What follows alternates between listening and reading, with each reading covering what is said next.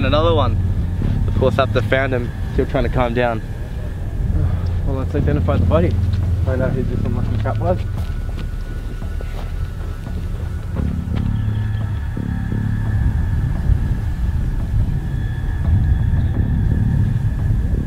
It's Nate. What? Nate. Oh my god.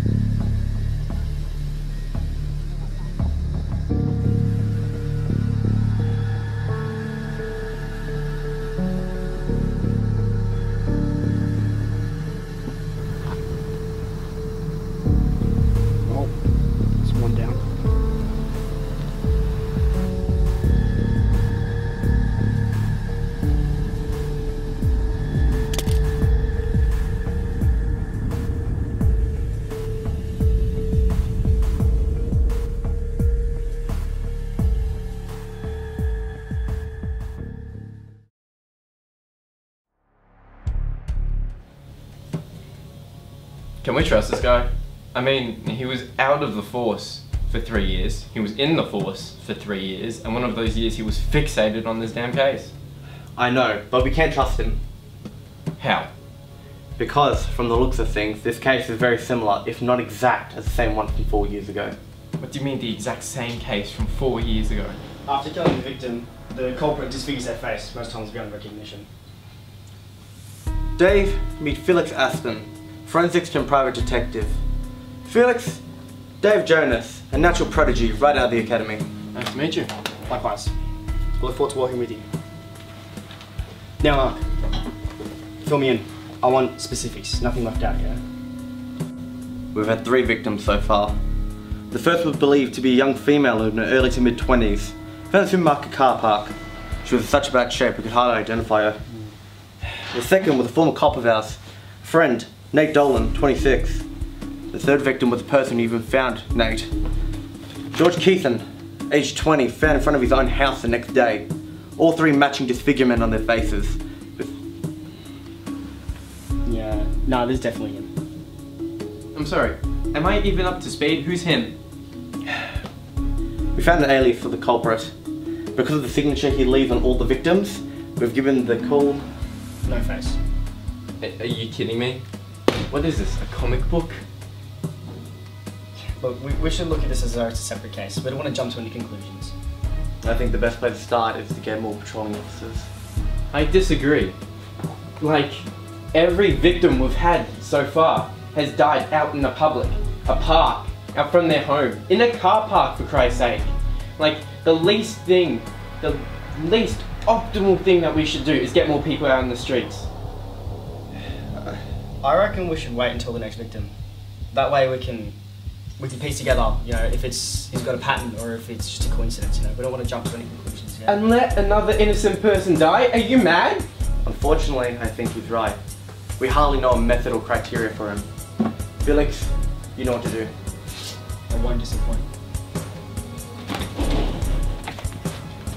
Are you still sure about him? More or less. That's reassuring. Right now, he's the best we've got.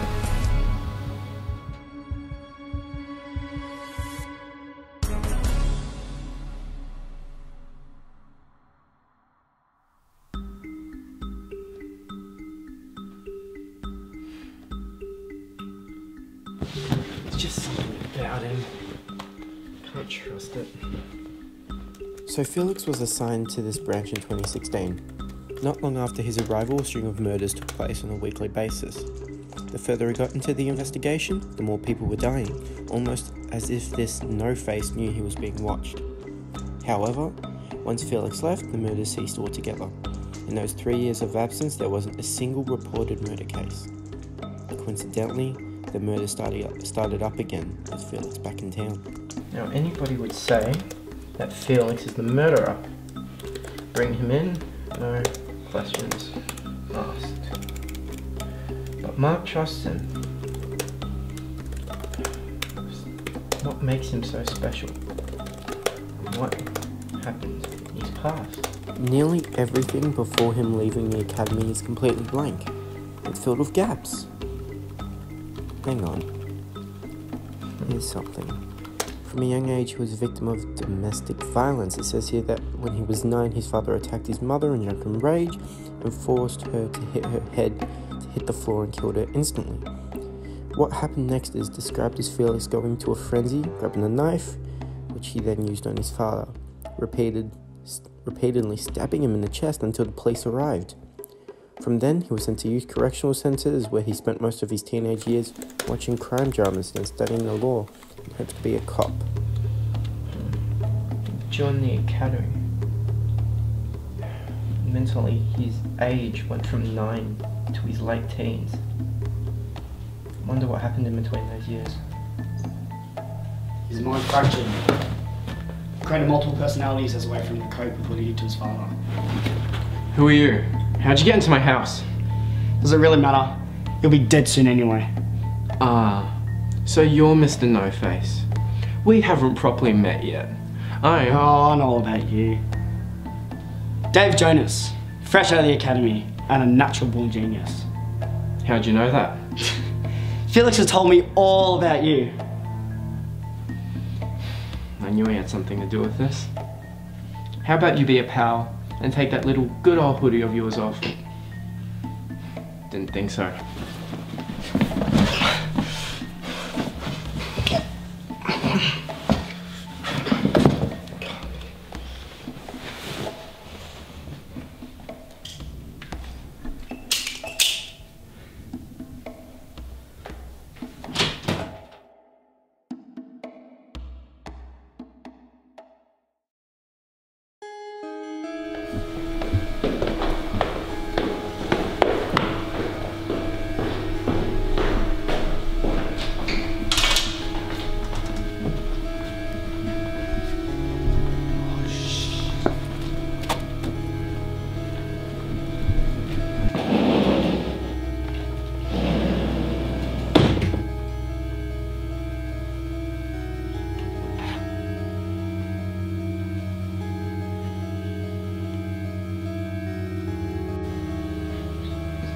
Well, however, old chum.